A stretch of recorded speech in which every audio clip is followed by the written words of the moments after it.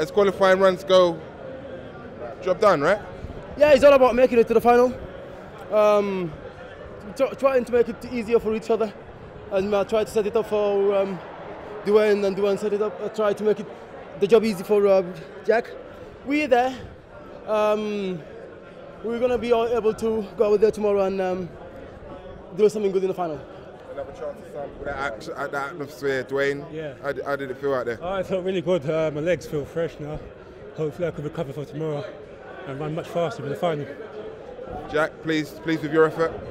It was solid. I don't think it's anything to write home about, but I was called up in the warm-ups, so I didn't have uh, much preparation time. So, you know, it's quite hard to go into a, a world what might as well have been the final already. So, I'm, I'm pleased that I was able to, to help the team out, and I'm, I'm really pleased to be back in the squad. Very lucky to run with the calibre of athlete we've got. You're through, mate.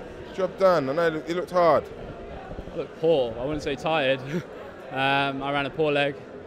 I think the guys done incredibly well. Like we, the seeding of the heats have been awful. Like we'd have been comfortable in the other heat. Um, so like it'd be nice to have been in that one. But top three will come from the second heat. We were fourth, and we've got another gear to go. So well, I definitely know I can run a lot better than that. Real opportunity in the final to, to grab a medal here, right? Yeah, like like I said, those guys ran incredibly well.